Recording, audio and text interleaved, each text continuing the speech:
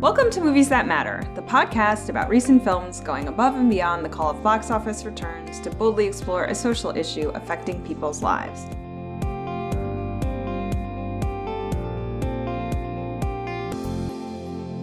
I'm Nicole Finari, and with me today is Lexy. Welcome back, Lexy. What movie are we overanalyzing this week? Brittany runs a marathon. Written and directed by Paul Downs Colaizzo, apparently based on his roommate. Um, a hard partying woman receives a startling wake up call when a visit to the doctor reveals how unhealthy she is. Motivated to lose weight, she soon takes up running to help her prepare for her ultimate goal competing in the New York City Marathon. So, what did you think? I liked it overall. Okay, I thought the main actress Jillian, what's her last name? Jillian Bell. Jill, I thought Jillian Bell did a really good job, and she was very funny. I thought other people were very funny, Mm-hmm. um, and I think the pacing wise, Yep. overall, overall, I really liked it. The only thing I noticed, well, one of the things I noticed watching was it seemed to be sort of the upward trajectory seemed to be like very smooth when she started, you know, training and you know, it was definitely hard. Right. You can see that she was struggling in the beginning, but overall I would say the beginning was pretty smooth and then you get to the main climax and sort of initial downfall and it was like a really fall really hard downfall. Yeah. So it was like very smooth, very far downfall, and then like it got better, you know, in the typical I Third guess act, yeah. a typical third act. Um, that was one of the first things that struck me about the pacing. But oh yeah, overall I, I liked a lot. Yeah, I would say um I, overall I liked it. I was really engaged. Um I want to get into a little bit more about the character of Brittany in a second. Um this is a this is a tough character to play sometimes because when somebody is kind of a mess but they still have to be interesting, charming, like there has to be enough good qualities there that you're actually rooting for them Yeah. and I thought, you know, in an in an in a higher budget movie that this that this part would have been given to Rebel Wilson, I can see that. and yeah. I just don't like Rebel Wilson. Like I just don't. Um, and so I was thinking, like, had they given this part to Rebel Wilson, I probably would not have liked this movie. But I Mhm. thought Jillian Bell conveyed enough positive qualities about Brittany that I was really on her side. Um, I I was okay with the posting, uh, with the posting. I was okay with the pacing. I would say the biggest issue for me, like cinematically to the movie, was the the marathon. The filming of the marathon sequence just was like a totally different movie. It was just like a huge tonal shift to the whole sequence of her running. There was, you know, use of yeah, like a digital camera, you know, or showing like or like news Her news footage like mixed in. So yeah. it Apparently they oh sorry. yeah, Apparently they filmed it at the actual yeah, New York City Marathon, which And I it- thought was cool. yeah, but it just like it was like a huge. It was you know it didn't seamlessly blend in. I would say like it looked like TV footage versus like film footage. Yeah, the weird use of the map, the weird use of the like colored background. Yeah, I she guess was running. Like it just felt like a totally different movie than the one we had seen up until that point, and I didn't like it. Uh, I guess I, I can see what you're saying. I didn't notice it as much, and I maybe I was so engrossed in the movie that I sort of let it slip by and not was it didn't care as much about that it was different. But I, I didn't I didn't notice it as much Okay. watching it. Yeah, it really bothered me. I mean, just I would say like the whole the whole color palette of this movie really bothered me. So there's like oh, everything was, like- because everything was like very sun drenched pastel. Like it was almost like you were in a Nancy Meyers film. And then like as she was like farther along in her training and losing weight and the upswing, she would she would sh- she would she switched from her sort of Lisa Frank like bright colored kid like clothes to these very dark clothes with very severe lipstick and I was like, okay, getting healthy is not the same as becoming goth. Like I like her whole her her whole like the the makeup and the outfit transitions were weirdly jarring to me, especially because everybody else just to say in this, like I said, this very sun drenched pastel um, world while she was sort of moving out of it and it just it looked strange to me. It was too big a contrast. I would have like and and and, and part of the issue then becomes because you have this very i mean every shot in the house was like so brightly lit you know Mhm. and color washed. And then when you got to the marathon scene and you switched to like tv footage and the on the ground camera like it just seemed very jarring like again it was like a tonal shift and it didn't match what had come before I thought that overall I did like it. I do think parts of it, especially towards the end, end with her conversation with Played by Lil Demetrius. Yeah. Um. I thought parts of it, and then sort of intertwined with that scene, it was, it was very, sort of. We have a simple, simple message. In some ways, we're putting it, you know, out in the open. It was more tell versus showing. mm. I thought hmm which was it was fine. You know, I think I do think in the second half of this we'll have a lot to say on the intricacies of the message and body Right, right. positivity, but overall I think it was sort of more of a simple movie with a possibly simple message. Yeah. Um and I like I said, I did like it. I found her really engaging. I really liked um Jern, her her like the layabout friend to to to lover to I guess serious partner. Mhm. Um I thought he was great. I liked um their scenes together were really fun. And I liked like I thought there was a good juxtaposition. So she has this sort of like the frenemy, the person who keeps her around just to make Her roommate, initial roommate. yeah, her feel better about her own life, right? Yeah. um, and she's she's very harsh and she's very cutting, but I didn't find it unrealistic. Frankly, I've had people like that. No, yeah, I agree.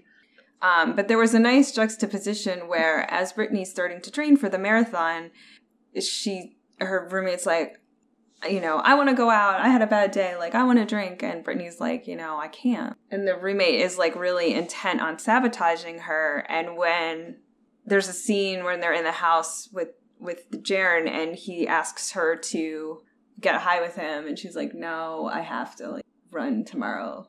Get up early and run tomorrow. He's he just is he just he immediately backs off and is like, oh okay, I admire your discipline and it was like a nice juxtaposition like that was a very show not tell like it wasn't it didn't That's hit you over the head of like the contrast between someone who's a good friend and supports her and someone who keeps her around just to make themselves feel better Yeah, I definitely agree. And I kept going back and forth on my initial point about it being sort of simple because while I overall, in terms of the overarching parts of the film, I thought it was sort of trying to go for a simple message and sometimes was tell not show. Diff- various scenes like that Mhm. one felt very real and very believable and would have small details like um, there's the scene where when they when she and Jern finally do get together and they start having sex, they actually show him like pulling out the condom, Mhm. not directly putting it on, but that he is putting it on. And I was like, oh, I feel like that's a small detail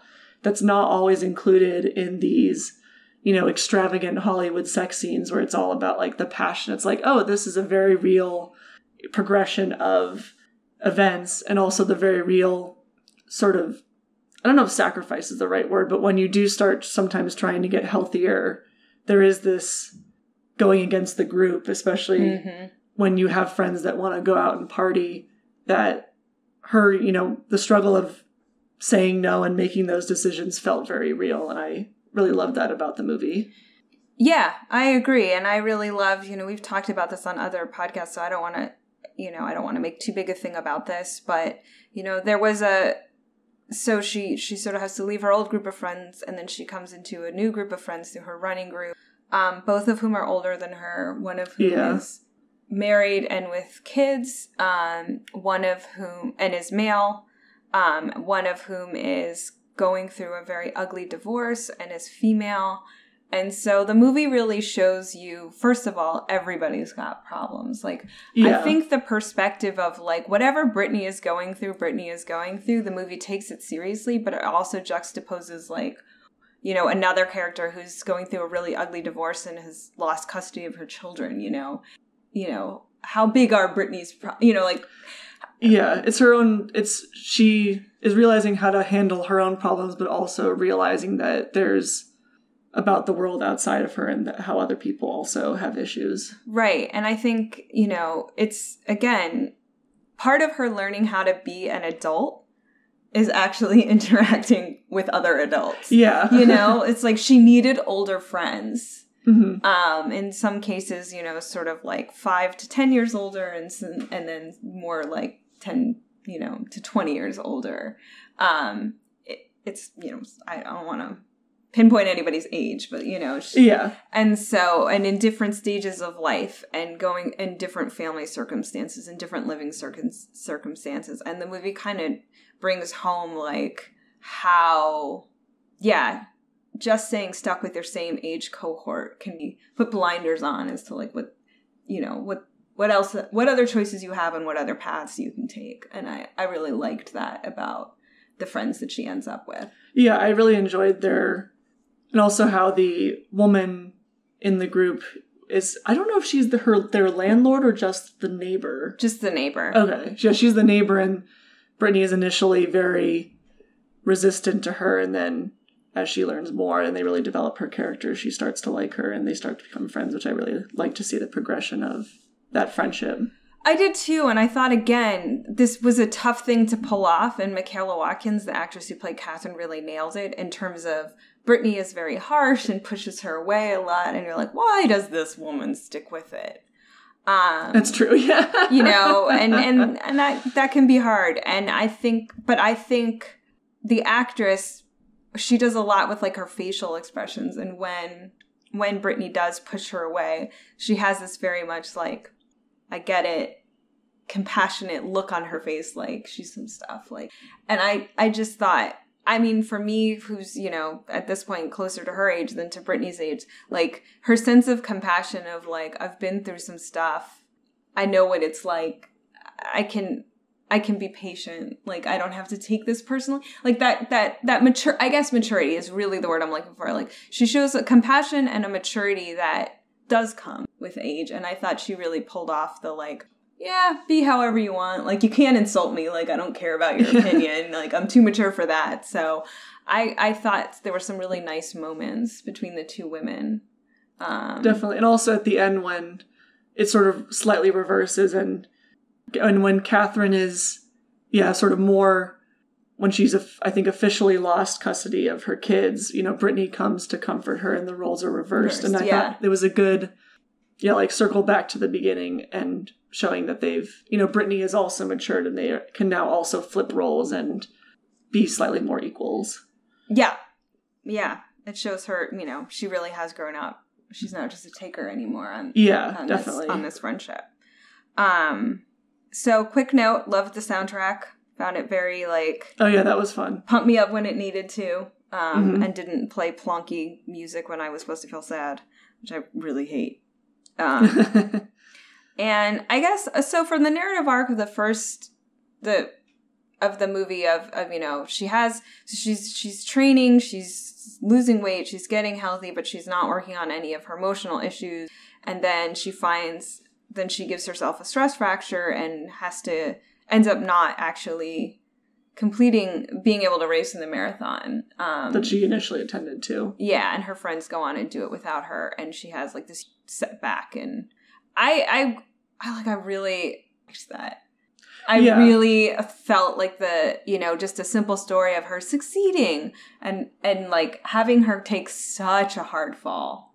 I thought was really, I think, what saved this movie from just being a super generic kind of of age Yeah.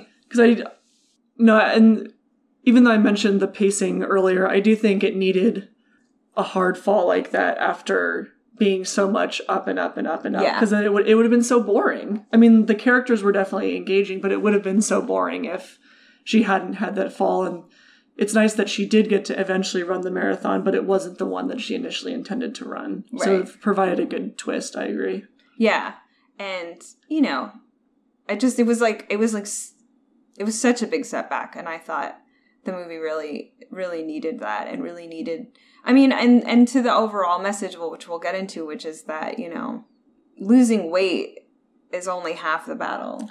Yeah, it's not going to fix all the All the problems. yeah, issues. Um, although it seems like it will temporarily. Um, definitely. So yeah, I just like I found Jillian Bell very engaging as Brittany. I thought she did a good job. I look forward to her seeing her in more things. Oh, I did want to say too on another note. Um, so you know, they there's some use of prosthetics and stuff in the beginning for her to lose weight. Yeah. But I I really one of the things that I really the most liked about this movie is that you are not like this was not, you know, Gwyneth Paltrow in a fat suit. No, and it wasn't it wasn't this biggest loser transformation. Right. It was a very real I, I felt it was a very real transformation of someone losing a decent amount of weight, but not she she was losing 50 pounds versus losing 100 pounds. And so it I sorry, I may have cut you off, but I I I, I think I agree with what you were about to say. Yeah, so it's it's the prosthetics are first of all not so obvious because they're they're minimally used. They they pad her out a little bit, but like I said, yeah, it's not this huge fat suit that she's in, and she doesn't, you know, there's there's a line in the movie where she's like, I'm I'm gonna try to lose some weight, and you know the roommate's like, oh, like down to 120 pounds, oh, that And- character. and then and she's like, I was thinking like 150, like Meanwhile, this yeah, her roommate's this stick skinny Asian woman who remember I can't, uh, there was there's this line where they're playing a game and Jillian wants she asks her roommate if she wants to come running with her, which I think was a good nice Yeah. gesture. And the roommate's like, "Remember, I can't do too much cardio, or I guess, or else I'll get super skinny." I'm like, so she's one of those people. Yeah. Yeah. Um so I just again I felt like in another movie it, it, you know it would have been some super skinny actress uh, returning to their actual look and not an actress Yeah. who has quite a normal body weight and a normal figure who was just padded out a bit. It was really refreshing yeah. to see that. And I think I think this point could be debated depending on your perspective of thinness, but I think even while she definitely loses weight and she's definitely thinner at the end, she's still not stick skinny. I think She's not Hollywood skinny. no, she's not. She's not She's Hollywood. just not skinny. Hollywood She's definitely thin, but she's not Hollywood skinny. And I think depending on how you see different body types, that may change for your own individual Yeah. perspective. But it's nice that she, yeah, she's still. They maintained her realness as an actual character and an actual regular human being. Right.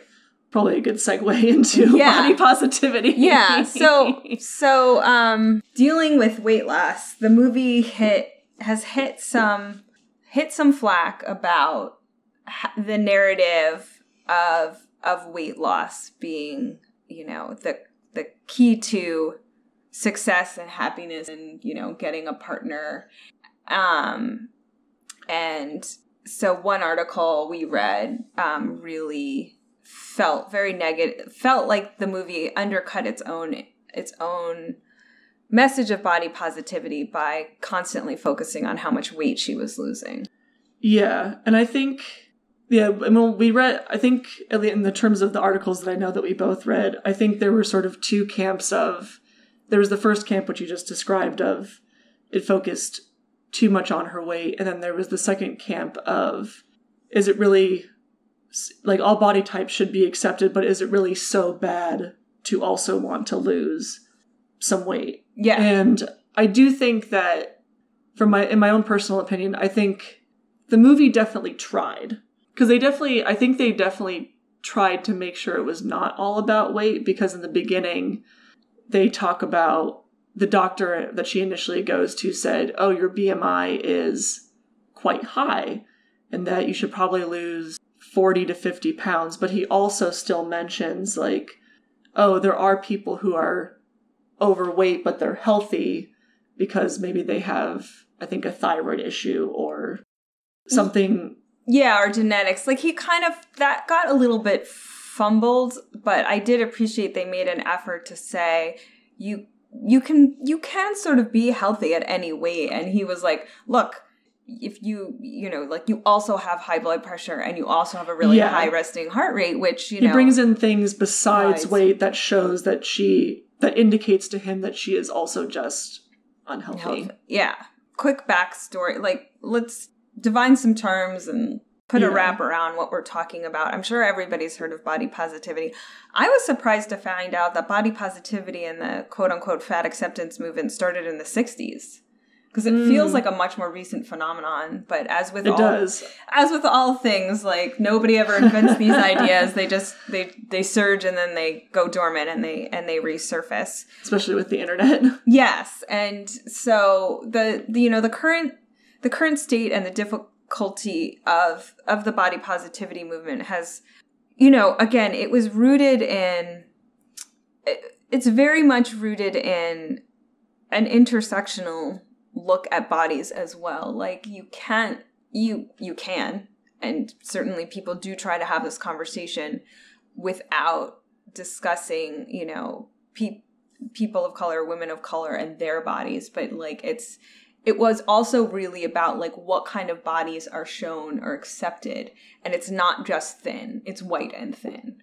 And that mm-hmm. you know read anything about serena williams like to Yeah. just talk about how black women's bodies are just not accepted and they're scrutinized they're picked apart that you know a white woman's body just doesn't face that so one of the complaints about how the how the movement has been sort of definitely co-opted by corporations you know dove and whatnot um has been a it still defines the terms and it still kind of narrows it into like okay this is body positivity but it's this is still what's acceptable like Yeah. and it isn't as all encompassing um and there's been there's and then the so the other camp of body positivity where a lot of the proponents want to go back to fat acceptance is has also been there is this weird tension between fat acceptance loving your body for who, for what it is and then the people who are like but I still kind of want to lose weight and where do those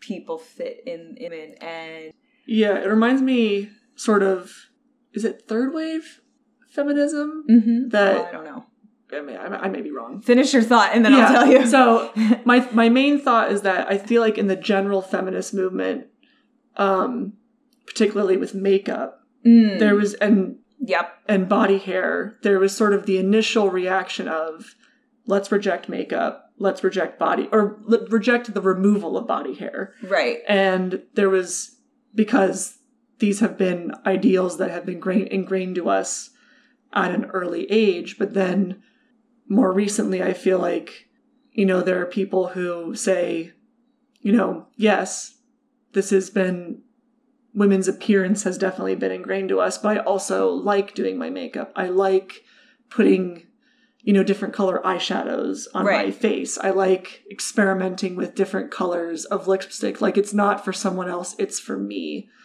Um and similar with body hair like I like the feel of smooth legs on, you know, and like rubbing them together or Yeah. whatever it might be right that it's for me, even if it's part of a general construct, I'm doing it for me, I'm not doing it for someone else. And the weight loss, that part of the weight of the body positivity movement reminds me of that same progression of, okay, let's like our bodies how they are, let's not, we don't need to do anything of them. And then there are people who are like, well, I kind of want to lose some weight, I kind of want to be fitter, but I'm doing it because I want it versus that society versus doing it because society wants it. right um And and I'm I- not sure if that's third wave feminism or not. it, it is it is yes but and i but i again like I, I will link to this there was a great call your girlfriend episode on body hair um and especially like you know some of the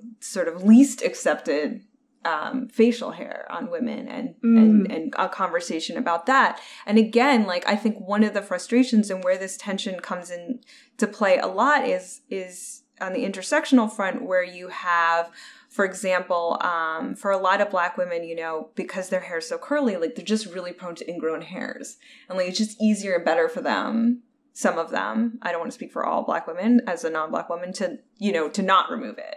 Because yeah. it just creates issues. Or certain ethnicities who just have you know like heavier arm hair. Yeah, or more likely to grow a mustache. mustache or any of those things. And so um there's often pushback and, and and tension when you know white women get to decide what the standards are and not acknowledging um even in feminism like um and it's always it's always good to sort of pull back and say like where did some of these ideas and movements come from? So so i kind of I, I i kind of found the complaint about the movie really interesting because yes i didn't love the doctor scene but one of the things I felt like everybody missed who made the complaint was so Brittany is very much focused on her weight, and there's like scene after scene after scene of her like pulling out the scale and looking Weighing at her it, body yeah. and weighing in and having like um being horrified by her own, you know, like overweight body. And what Um, drives her to overwork herself so much is because she's not getting down to a specific yes number. she hits a plateau and but there's a very like prominent scene at the end of the movie once she's worked on her emotional stuff where you see her just put the scale away yeah. and be like i'm done. Maybe i'm not going to get to and she never hits her goal weight. First of all one she doesn't actually hit her goal weight. She says it's 150 she gets down to about 160, I think. 160 and then she just puts the scale away and says i'm not going to focus on this. And i was like did i'm did no one else see that part of the movie like Yeah. she does decide ultimately it's not about weight so i'm like what and that's kind of where I uh, I fall. I think I fall similarly to you as well. And also, there's this big scene with one of Demetrius's friends at her at his birthday party. Um, one of his friends, Jasmine, is an overweight woman or Mhm. looks to be overweight, and Brittany is has been drinking and with a, with a thin male partner Sorry, yes. Um, yeah, so you have Jasmine and her and her thin male partner enter the scene. Brittany having gone through, as you know, sort of basically gone through her physical transformation at this point in the movie, and she goes off on Jasmine about, like, you know, do you ever think about the fact that you're overweight? I'm trying. I can't remember the exact dialogue, but sort of she just cuts her down in the middle Yeah, of the she's- party and it's she's being very awkward. mean. it's rude as yeah, yeah, it's bad. she's being very mean, rude to Jasmine about the fact that Jasmine, you know, ap- appears to be overweight, and and also with a thin partner, she like questions his love for Jasmine because he is thinner, and she apologizes to her by sending her flowers and a note, and included in the note, she's like, "I'm sorry." You know, I really, it's really that I just, I wish I had what you had. And that, like you said earlier, the weight is not going to fix all of Brittany's problems. She also has to do some soul searching about being able to open up to people, her, you know, what her career goals are, going after her career. And weight is a the catalyst and a big and sort of a big part of the journey, but it's not going to solve everything. right and you know the woman jasmine gets her own little monologue in the movie to say Yeah. you know, of course I think about my weight. I think about my freaking weight every day, like as every, you know, like overweight woman does. And so I, you know, one of the sort of early battles, and I wouldn't say that it's one, um, when there was this resurgence of the fat acceptance and body positivity movement was people constantly saying, you're going to normalize overweight people and that's just going to make everybody overweight Yeah. and there's a zero evidence of that. And also zero evidence that shaming people about their weight makes anybody thinner right? Like it Yeah, doesn't yeah, yeah. work. And yet um so i i will i will ad- admit that this this topic um doesn't affect me personally. And i'm always just sort of horrified when i hear these stories of how you know complete strangers will comment on people's weight in public or like, like, what F they're you. eating like and i'm like what is wrong? You know it's just like you know it- I, I- I get it. There are terrible people everywhere. Um I, I i i like my capacity to continually be shocked that there are these people in the world. Like i'm glad i'm not so jaded but i'm always just appalled that um how much people feel comfortable to comment um, Yeah. people's weight when they're overweight or what they're eating or their choices. And there was another article that we read about a woman who was sort of heckled for her weight um, while running the New York. So her name is Shauntay Sma- Snell, and she is um, a black woman, and she was heckled while freaking running the New York City Marathon, like while actually doing the thing, and like you know the movie the movie sort of talks about this but like you have to qualify for the new york city marathon like it's not that easy to get into um and and so you know she became a hero of sorts and you're like who what is going on and i just It's like, why do you have the energy to do this? this yes um but i think but i think which the movie sort of subtly made the point um uh another another good reference on this topic is um this american life did kind of two stories on body positivity oh, okay. and they did one where it's amazing where a woman actually gets to confront her troll Oh, that's so um, cool. I believe it's Lindsay Lindy West rather, and you know they they like find her troll, who was like telling her you know she was a fat bee and a, you know Is this a fat. was she writing on a blog and it was someone yeah, who's she's commenting? a writer, and she Okay. was commenting, and he would you know make these all these say all these terrible things about her, and had the absolute courage. Like I don't I don't disagree with. I don't, you know, I don't want to say like, oh, he's a hero for coming forward, but like, gosh darn it, like that's not an easy thing to do to admit it and like go in public and say I was a horrible troll, Yeah. right? Um, and what he says, very similar. That's all I could think of in that scene with Brittany um, confronting a, this overweight woman. What he says was like, I was fat and I felt terrible at myself, and I was angry at you for finding peace and happiness when I could not. Like it definitely came from an, a dark, envious place. Was Yeah. at the root of those comments. Um, and people get very angry when the thing they think is holding them back doesn't hold somebody else back because then it means they could do it too, right? Um, and it's just you know it's like it's like you can be fat and healthy you can be fat and a marathon runner um one woman's story is like i don't know i ran a marathon i didn't lose any weight and i was like okay fair like but Yeah. she's super healthy and she will go to every doctor and they will tell her to lose weight like you know and and that's going to be her life um but i i i i thought i felt like the movie did a good job of of keeping all of that in perspective I agree. Like, sort of, I think what I was sort of trying to say at the beginning is I think, to, regardless of whether where you come at with the movie and body positivity, I, I at the very least they tried to to make it well rounded, and I think they did. I, yeah, I mean, I I did too. Um, it would have been nice if the other two people in her, her running friends also weren't like real thin, but fine.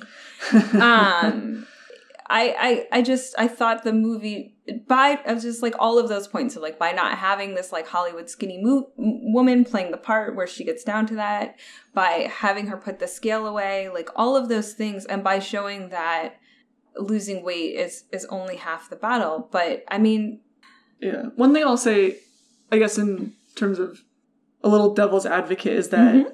um, the the the rise of her getting better and starting to do more with her life is very, I think, is uh, very intertwined with the weight loss in terms of that they're very much happening at the same time. Because I think even before the third act, you know, she starts talking about how she wants to go back into advertising, that she wants to get her career on track, that she wants to start dating again. They are very much happening at the same time as, and it gets to be happening more and more so as she gets closer and closer to her goal weight, even though she never reaches it. Um, I think there is a case to be made where, sort of subliminally, you are seeing her transformation mentally very much in parallel with the physical part of it. mhm. And I definitely see that. I think I think in a realistic sense it does make sense that I can I can see that these things in real life would become parallel with each other, but I do see the point of there is a message that it sends out of you know maybe you can start to get your life together only after you start losing weight. Uh, yeah, I hear you, and I I think what's the problem is, and and and this is so we do live in this world, right?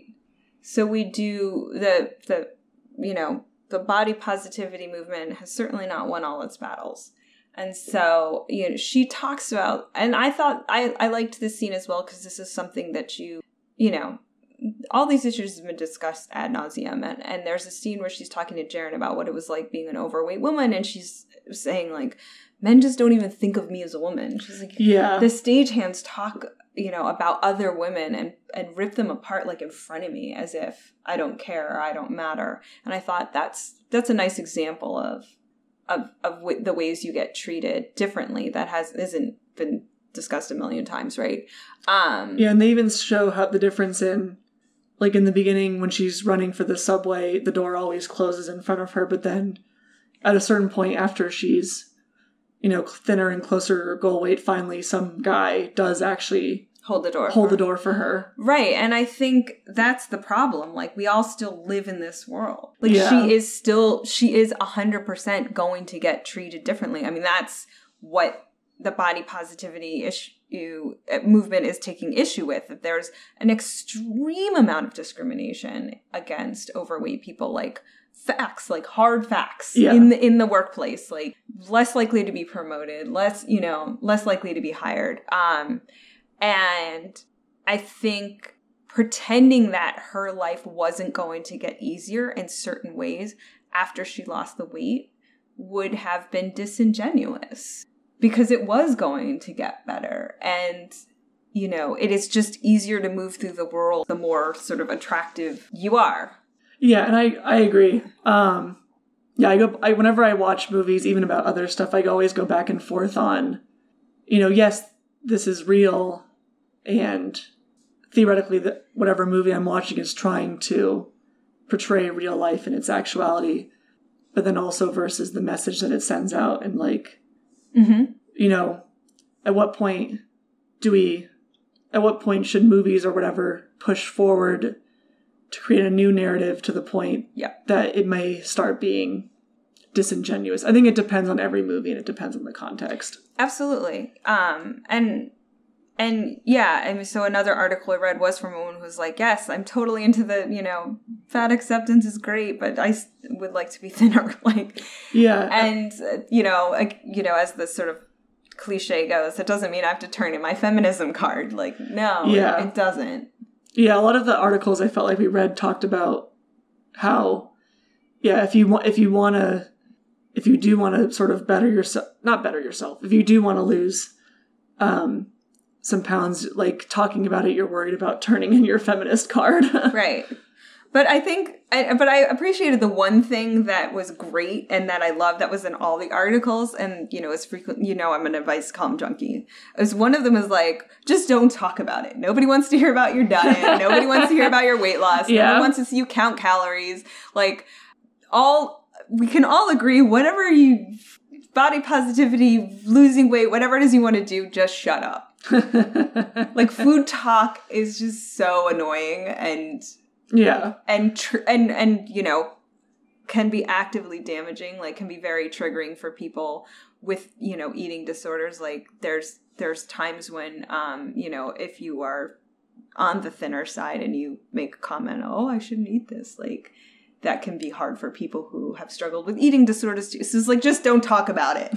Like go quietly lose weight on your own and you know we don't need to know. Although I will say, I do agree generally, but I think, um, I think it can be very helpful if someone is trying to lose weight to have some semblance of community because it can be very daunting, sort of like how the movie shows. It can be very daunting to get started on the process of losing weight and going to the gym, especially if you're a bigger person. And um, I think it can be very helpful to get helpful advice about, oh, I've made these substitutions and it's worked out well. And it's like, oh, maybe that's something that I could try.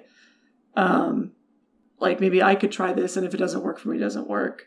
I think it's finding if you are trying to lose weight or eat healthier, I think it could be just find make sure to find people who maybe are going along with it with you and that way you're talking about it with people who care Oh, and you can yeah. swap tips. Yeah, find a community. versus never talking about it at all. Yeah, no, I, I'm sorry. Yes, you're completely right. I didn't mean to say never talking about it at all. But I remember there was, I want to say it was a Carolyn Hax.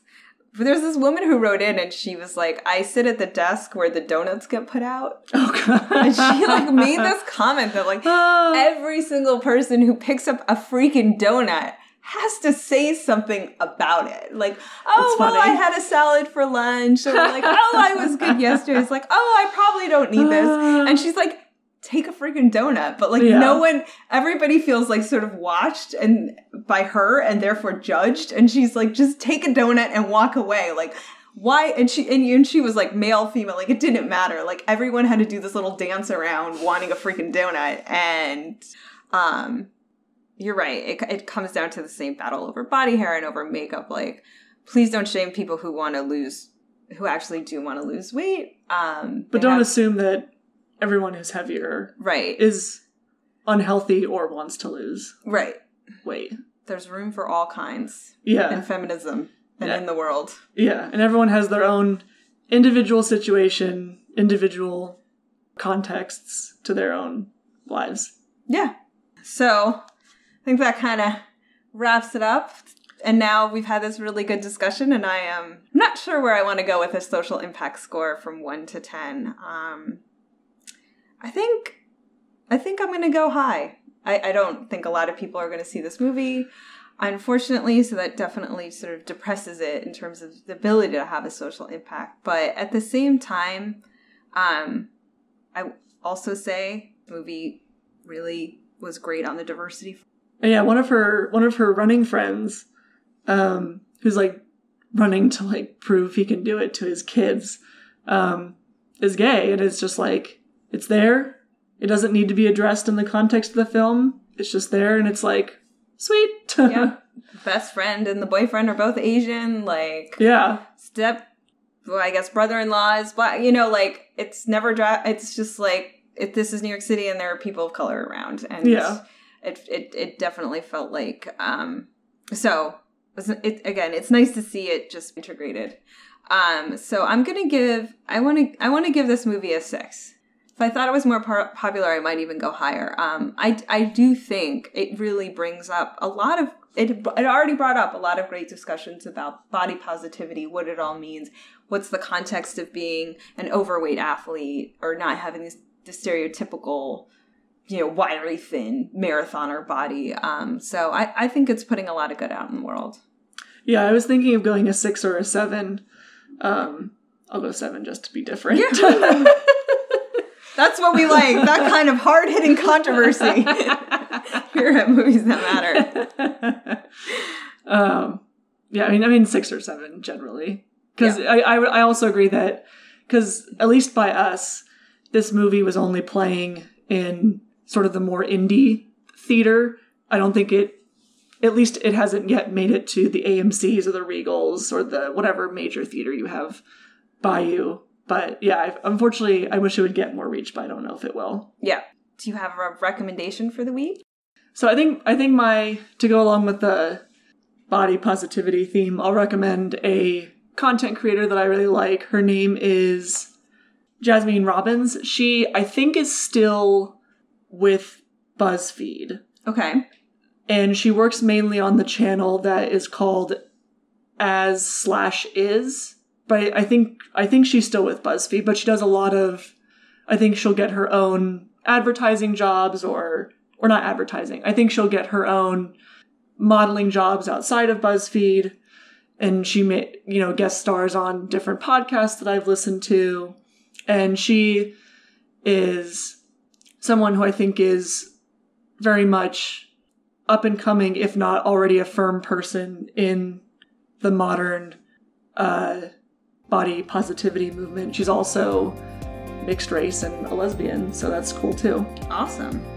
So we hope you enjoyed this episode of Movies That Matter. If you did, find us and tell us. If you didn't, keep it to yourself, troll. Just kidding. Uh, we have Facebook page, Movies Matter Pod. We have a Twitter handle at Movies Matter Pod. Um, come and find us, join the conversation, and remember, movies matter. And so do you. We'll see you next time.